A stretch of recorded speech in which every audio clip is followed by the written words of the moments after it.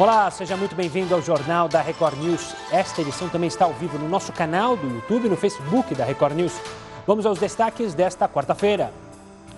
Senado aprova nome de Cássio Nunes Marques para vaga no Supremo Tribunal Federal. Desembargador indicado por Bolsonaro assume o lugar do ministro Celso de Mello, que se aposentou. Pesquisa mostra que quase 96 milhões de brasileiros acima de 18 anos estão com excesso de peso. A dificuldade com a dieta pode estar diretamente relacionada ao cérebro. Estudo aponta que soro extraído do sangue de cavalos pode criar mecanismo de defesa contra o coronavírus. O soro é capaz de reduzir os sintomas da doença.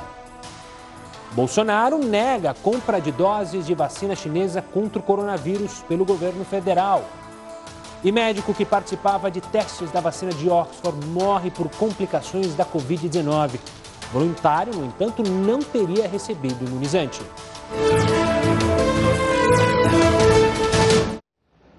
Uma pesquisa divulgada hoje pelo IBGE mostra que quase 96 milhões de brasileiros acima de 18 anos estão com excesso de peso.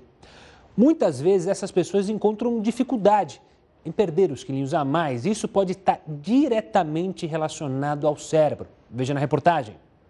De acordo com dados do Instituto Brasileiro de Geografia e Estatística, mais de 60% dos brasileiros estão acima do peso. O número é preocupante, principalmente para aquelas pessoas que sentem dificuldade em perder gordura. E foi pensando nesse tipo de problema que pesquisadores de uma universidade de Israel desenvolveram um estudo. A equipe avaliou 92 pessoas por mais de um ano. Os participantes foram selecionados com base na circunferência da cintura e níveis anormais de gordura no sangue. Essas pessoas passaram por diversos testes. O estudo identificou que aqueles que desenvolvem uma resposta maior dos neurônios quando olharam ou sentiram o cheiro da comida acabam comendo mais e, consequentemente, ganham mais peso. Os cientistas acreditam ainda que esses resultados podem ser importantes para compreender a relação entre a obesidade e a maneira como o cérebro reage a dietas. E o presidente Jair Bolsonaro disse hoje que os processos de compra de qualquer vacina contra o coronavírus pelo governo federal estão descartados por enquanto. A afirmação foi feita pelo presidente durante visita às instalações da Marinha em Iperó, interior de São Paulo. Bolsonaro também afirmou ter ordenado o cancelamento do acordo feito pelo Ministério da Saúde com o governo de São Paulo para aquisição de 46 milhões de doses da Coronavac. A vacina é desenvolvida pelo laboratório chinês Sinovac em parceria com o Instituto Butantan aqui de São Paulo. Nome de assunto, lembra da Botkiss? Os quatro antigos sócios da boate terão que ressarcir 93 mil reais ao INSS. O dinheiro é referente às despesas com o pagamento de auxílio doença e pensão por morte relativos a dois ex-funcionários da casa noturna.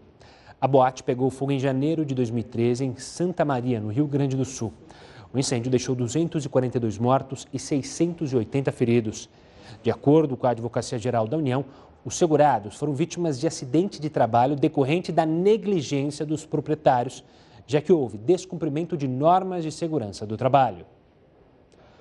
Voltando a falar sobre o coronavírus, uma pesquisa apontou que um soro é extraído do sangue dos cavalos pode criar um mecanismo de defesa contra o coronavírus. Veja agora na reportagem. Uma pesquisa realizada pela Universidade Federal de Pelotas, no Rio Grande do Sul, revelou que alguns testes feitos em cavalos conseguiram provocar uma resposta capaz de reduzir os sintomas da Covid-19. Isso acontece porque o soro retirado do sangue dos animais possui uma grande concentração de anticorpos. Para chegar aos resultados, os pesquisadores tiveram que estimular o sistema imune dos cavalos usando o vírus inativado. Por causa do estímulo e do tamanho dos animais, o organismo dos cavalos começou a produzir uma grande quantidade de anticorpos em alta qualidade. O soro já foi padronizado pelos pesquisadores e agora passa pela fase de purificação. De acordo com os especialistas, o próximo passo é testar o soro em humanos, que está previsto para acontecer no fim deste mês. Os primeiros a participarem desta fase devem ser os profissionais da saúde. Os pesquisadores esperam que o soro ajude a diminuir significativamente a quantidade de internações pela doença. E o Senado aprovou, com 57 votos, a indicação do desembargador Cássio Nunes para vaga de ministro no Supremo Tribunal Federal. Foram 10 votos contrários. A votação aconteceu depois da sabatina de 9 horas lá na Comissão de Constituição e Justiça do próprio Senado. O desembargador respondeu a perguntas sobre combate à corrupção, a separação de poderes, fake news e violência contra a mulher, entre outros assuntos. O desembargador justificou possíveis incoerências no currículo e ainda falou sobre a prisão em segunda instância, que para ele deve ser discutida pelo Congresso, pelos legisladores. Cássio Nunes assume a vaga de Celso de Mello, que se aposentou. Clientes relataram que foram cadastrados por bancos no Pix, essa nova ferramenta, sem permissão. Sobre esse assunto eu converso agora com Marco Antônio Araújo Júnior, que é diretor do Instituto Brasileiro de Política e Direito do Consumidor. Antes de mais nada, obrigado pela participação mais uma vez aqui conosco no Jornal da Record News, doutor todo mundo suspeitava e todo mundo estava tá com medo, assim, pelo menos o consumidor, claro, sobre o Pix. E aí um exemplo claro, né? Pessoas que foram cadastradas sem terem pedido o cadastro. Como que o senhor enxerga essa situação e como essas pessoas é, podem buscar seus direitos?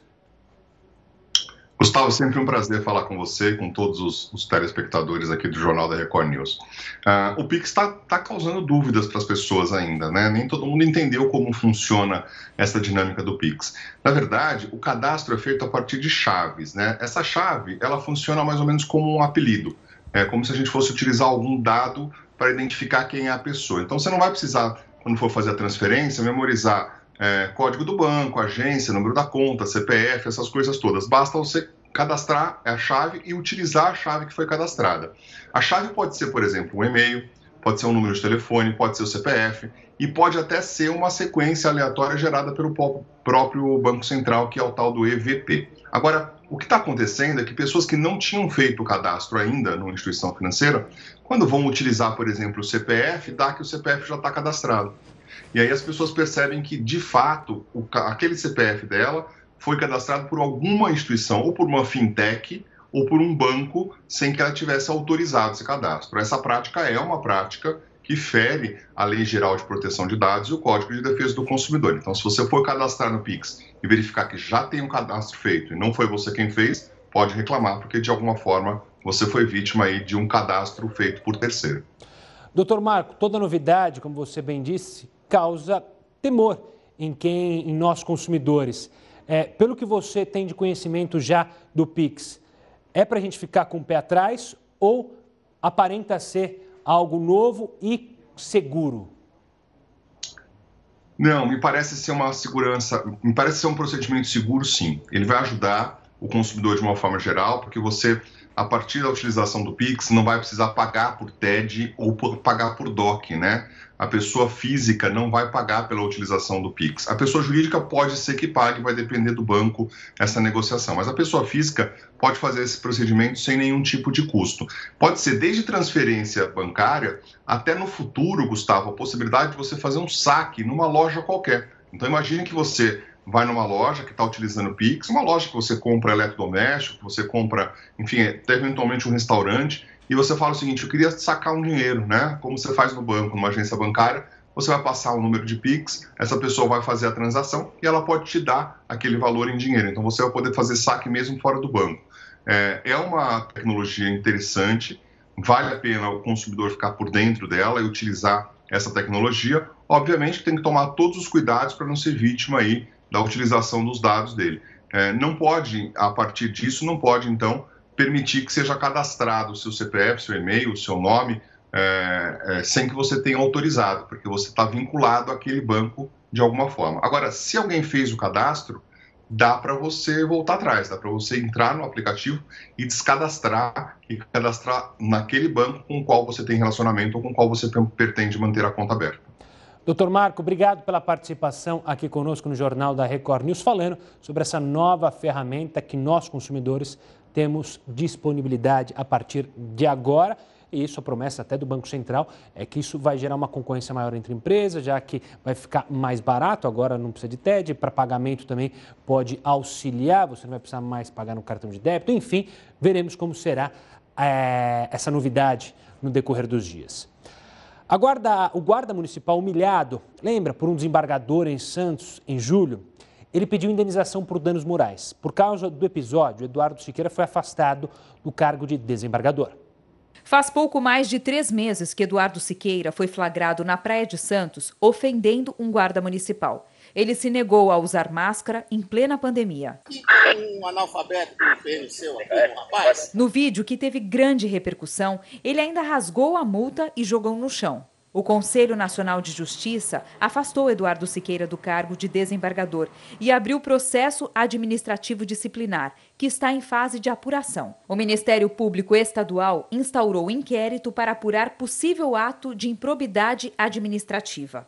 Agora, Siqueira terá que enfrentar outra ação na justiça. O guarda municipal, que foi humilhado por ele, pede indenização por danos morais de 114 mil reais. Segundo o advogado do GCM, o valor equivale a dois salários de Eduardo Siqueira como desembargador. A principal prova da ação é o vídeo entendemos que a situação ela é passível de uma reparação do Poder Judiciário. A situação que o doutor Eduardo colocou o Cícero ela merece uma punição e merece uma punição grave. Tentamos contato com Eduardo Siqueira e com o advogado dele, mas não tivemos retorno.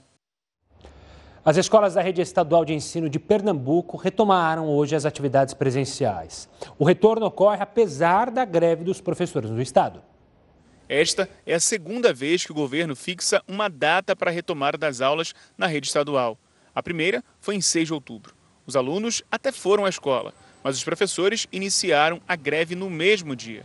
A categoria não concorda com as medidas adotadas para o retorno das aulas e teme o contágio do novo coronavírus dentro do ambiente escolar. Mesmo com a segunda data para o retorno, o impasse continua. O Sindicato dos Trabalhadores em Educação de Pernambuco manteve a greve mesmo diante de duas decisões judiciais que determinam o retorno imediato das atividades presenciais.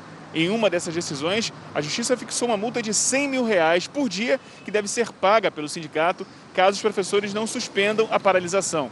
O Sintep informou que não foi notificado oficialmente dessas decisões, mas que está aberto ao diálogo. Os estudantes desta escola ficaram surpresos com o que viram. Tudo ok, no distanciamento social, um álcool em gel, tudo certo. O professor estava em sala de aula? Sim, professor em sala de aula. Alguns são, estão só EAD, mas grande parte deles estão na, na sala. Pelo calendário do governo do estado, os alunos do segundo ano voltam à escola no dia 27 de outubro. Os alunos do primeiro ano no dia 3 de novembro. As aulas presenciais para os ensinos fundamental e infantil continuam suspensas até o dia 31 de outubro. O senador do Dinheiro na Cueca, Chico Rodrigues, vai continuar com acesso a um imóvel funcional e também ao plano de saúde do Senado, mesmo licenciado do mandato. Durante os quatro meses de afastamento, o senador não vai receber o salário de R$ 33.763. Só que Rodrigues tem acesso a um apartamento reservado a parlamentares em Brasília. Além disso, com o plano de saúde, o parlamentar vai poder cobrar dos cofres públicos o ressarcimento com despesas médicas. O benefício, é bom lembrar, é vitalício. Por falar no senador, com esse período de afastamento dele, excede 120 dias. Então ele precisou deixar um suplente para representá-lo. Chico, Chico Rodrigues escolheu quem? O filho dele, Pedro Rodrigues, por incrível que pareça. Pois é, o Heroto vai comentar mais é, sobre esse assunto para explicar se é comum parentes serem suplentes dos parlamentares. Uma boa noite, Heroto. Olá, Gustavo. Por isso não vai dar confusão o apartamento, entendeu? Não. Porque é do pai. Agora, assumiu o filho, eles já moravam junto na, na, na residência oficial dele, não vai ter problema nenhum. Aliás, tem uma coisa aqui interessante, é o seguinte, foi aprovado uma PEC, uma, um projeto de emenda constitucional, para acabar com essa história de que só no Brasil o senador tem dois suplentes. Dois, não um, dois suplentes. Muito bem. Além disso, esse mesmo projeto proíbe que o parente seja suplente do senador. Foi aprovado no Senado? Foi aprovado no Senado. E aquela pergunta que não quer calar. Bom, mas aonde está esse tal projeto? Esse tal projeto está naquela gaveta lá na Câmara dos Deputados, juntamente com aqueles outros todos que a gente tem nomeado aqui toda vez, e temos pedido para você mandar o, o zap zap lá para o seu, seu deputado. Está parado lá. Veja bem, nós temos três, dois senadores por estado, né? perdão, três senadores por estado, Estados Unidos só tem um. Aqui cada senador são dois suplentes, então são nove pessoas em cada estado do país, só para a gente ter uma ideia. Agora, essa história de assumir, de assumir parente, né, de botar o parente, fiz aqui um rápido levantamento para descobrir o seguinte: não é só o senador Chico Rodrigues tem um filho, não. Tem o caso, por exemplo, do senador Eduardo Braga, a primeira suplente dele é a mulher dele, a esposa dele.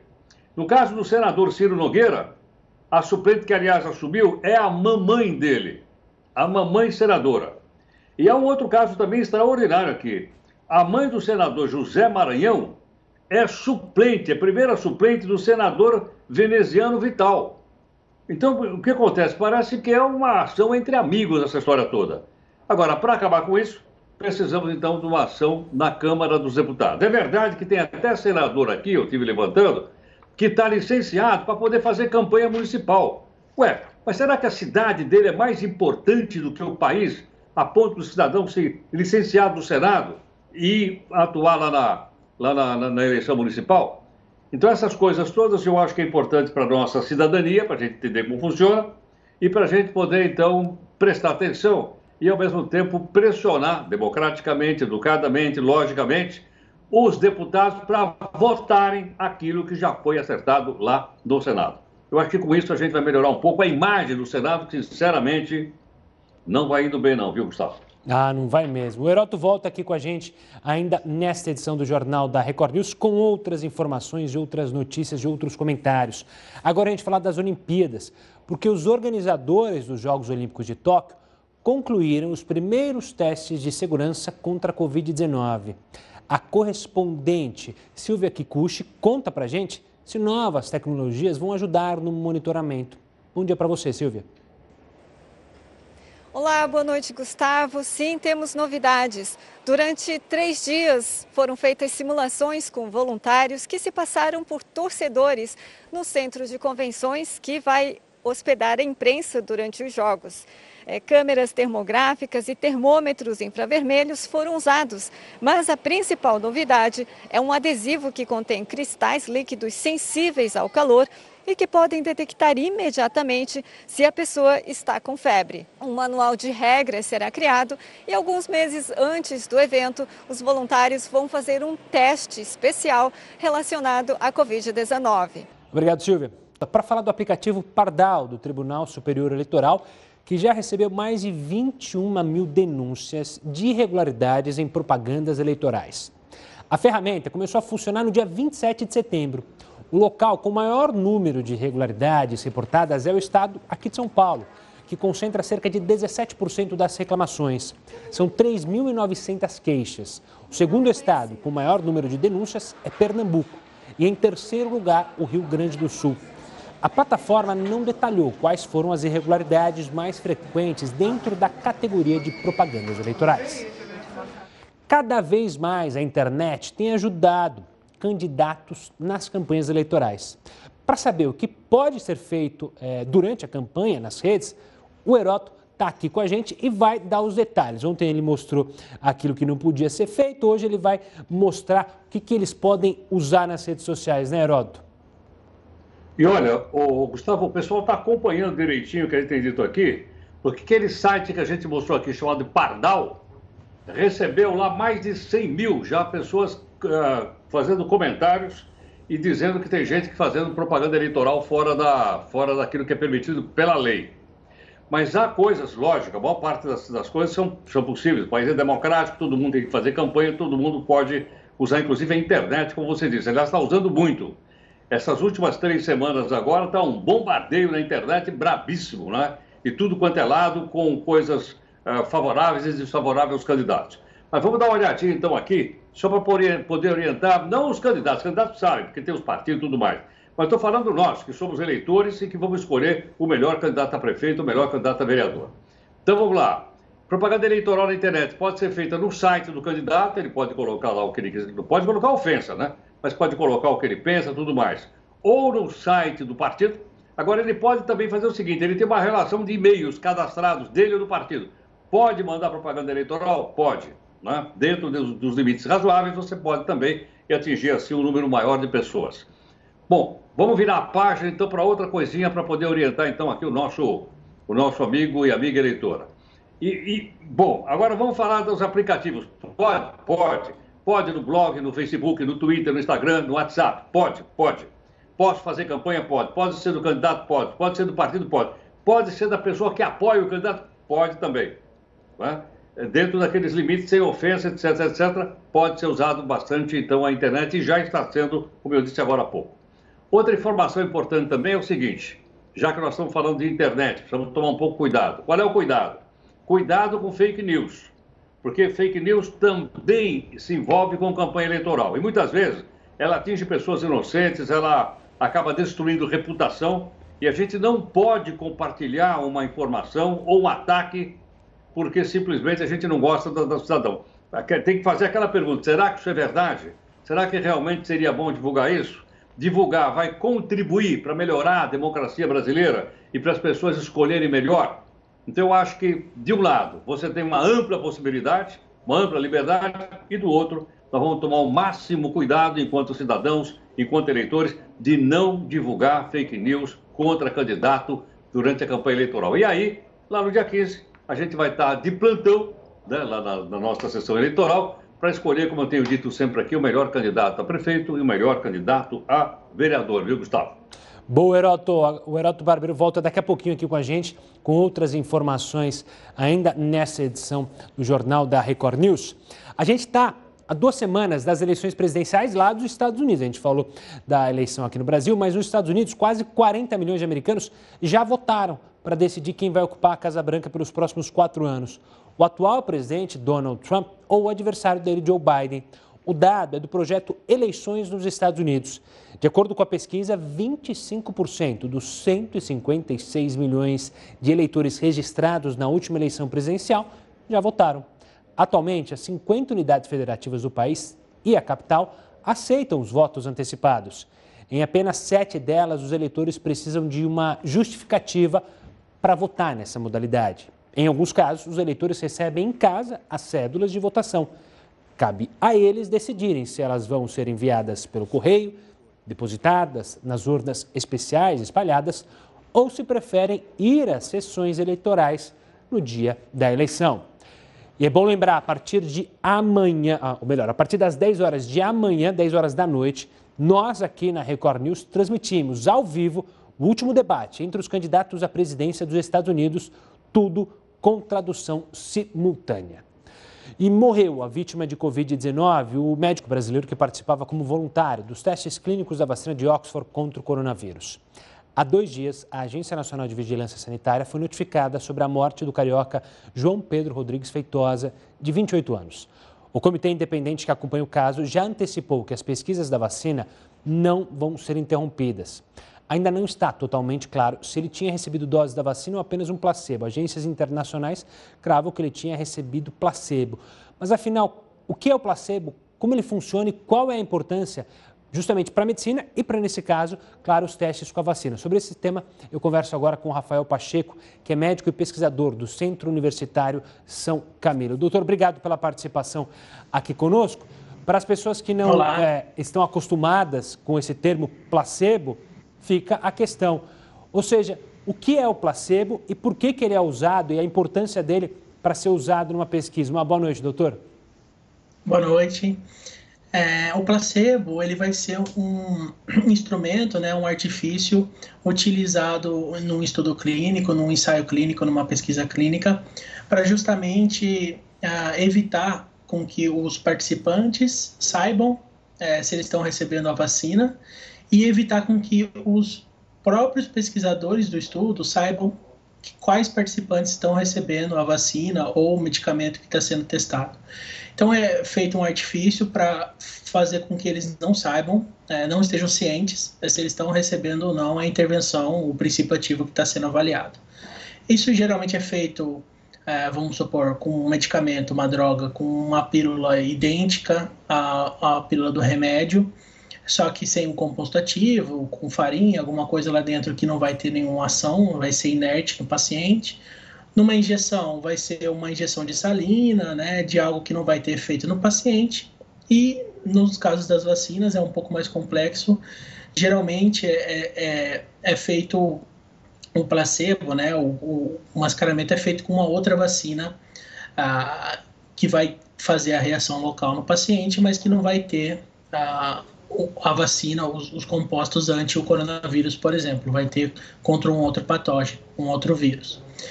E por que, que isso é importante? Né? Só o fato do paciente saber é, se ele está recebendo ou não medicamento muda muita coisa num ensaio clínico, num estudo clínico.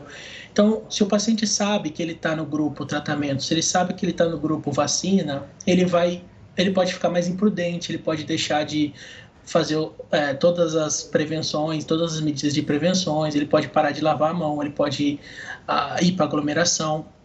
É, da mesma forma, se você tem um paciente que sabe que não recebeu a vacina, ele pode ficar mais ansioso, ele pode uh, parar de. Ele pode lavar a mão com mais frequência, parar de sair, ficar em casa, e tu, todos esses fatores, né, eles vão no final do estudo atrapalhar na hora da gente ver o real efeito daquela vacina, né?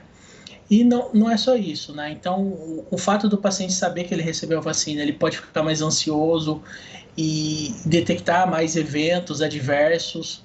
Os próprios pesquisadores podem tomar mais cuidado e pedir mais exames para os pacientes que eles sabem que estão no grupo intervenção.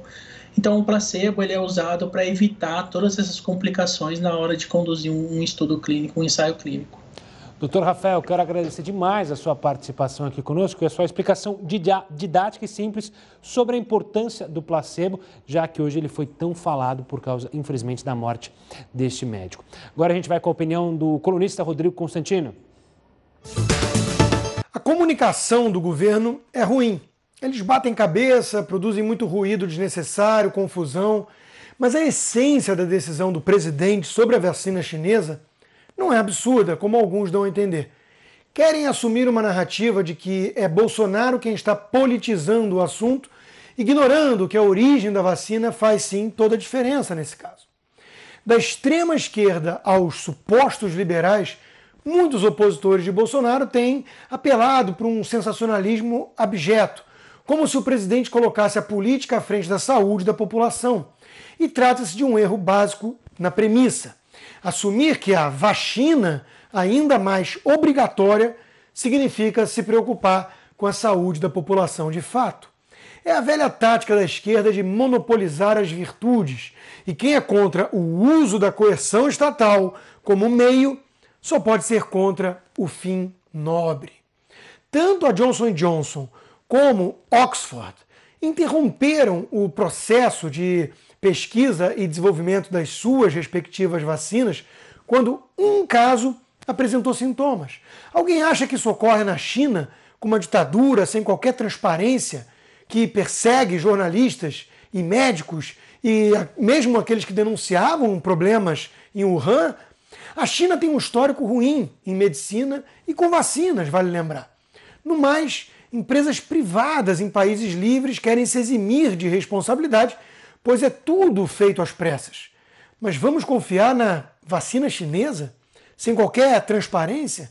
Isso sem falar que a pandemia nasceu lá.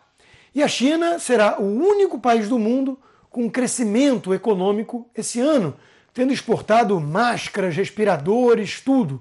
Parece aquele borracheiro malandro que joga prego na rua para ter cliente com pneu furado. Boa sorte aos que desejam tomar a vacina vindo da China. Mas, por favor, respeitem a liberdade de escolha dos indivíduos. O Senado chegou a um acordo sobre os termos do projeto que prevê a autonomia do Banco Central. E o projeto já pode ser votado amanhã. O Heroto Barbeiro volta aqui para contar o que mudaria com essa autonomia da instituição, hein, Heroto? Olha, Gustavo, é, queria lembrar o seguinte: é, para nós, né, que somos o público em geral, às vezes o negócio de Banco Central pode parecer uma coisa muito distante, mas não é, não. O Banco Central é ele que controla todo o sistema financeiro e bancário do país. Então, quando a gente tem alguma bronca do banco, ou foi mal atendido no banco, ou eles cobraram uma taxa que não estava devidamente estabelecida, lá no site do Banco Central é só entrar lá e fazer uma reclamação contra o banco. Tem também lá um aplicativo para ser baixado aí para a gente poder pegar no pé do banco, é lá no Banco Central. Agora, por que, que isso é importante? Porque é o seguinte, o Banco Central, ele também controla a inflação, é tão importante para todo mundo. É ele que estabelece aquela taxa Selic.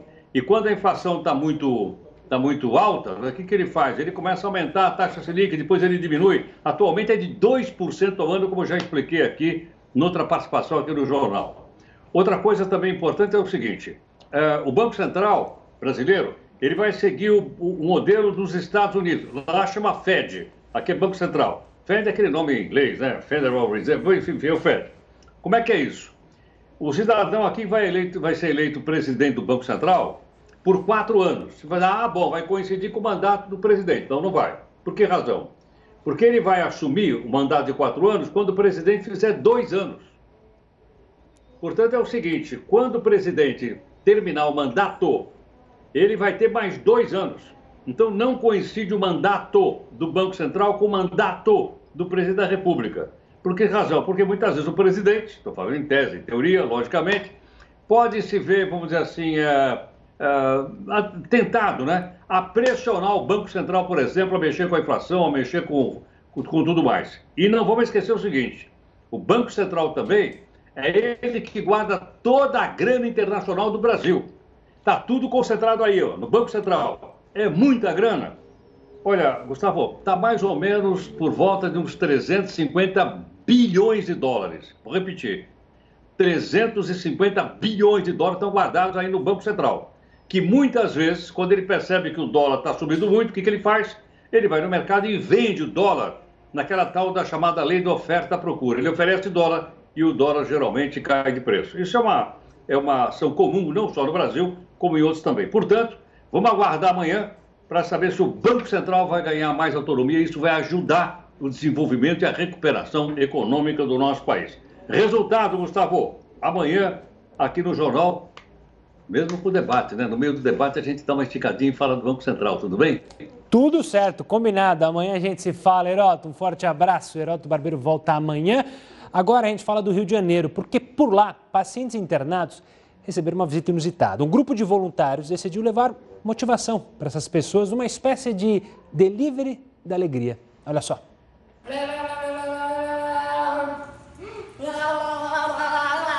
O aquecimento vocal bem inusitado é de uma trupe de médicos que usam a alegria como tratamento. O registro mostra momentos de uma das visitas semanais antes da pandemia. Crise sanitária global fez tudo parar.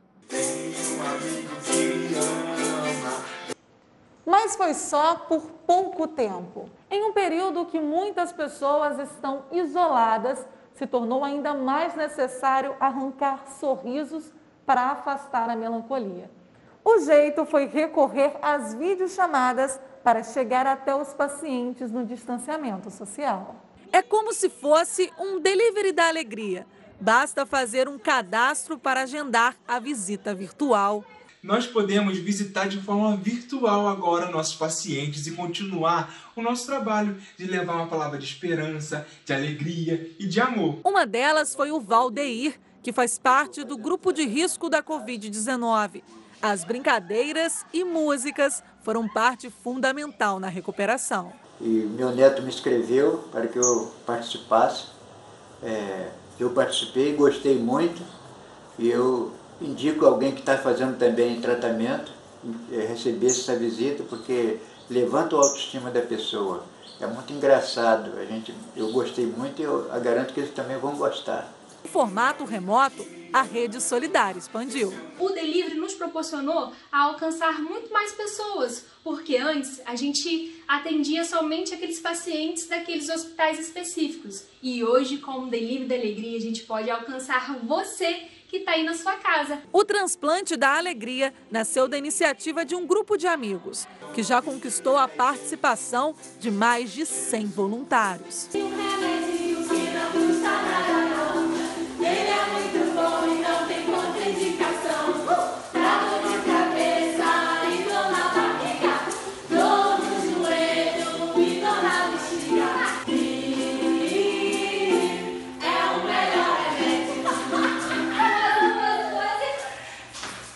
E o Jornal da Record News fica por aqui. Tenha uma ótima noite e até amanhã.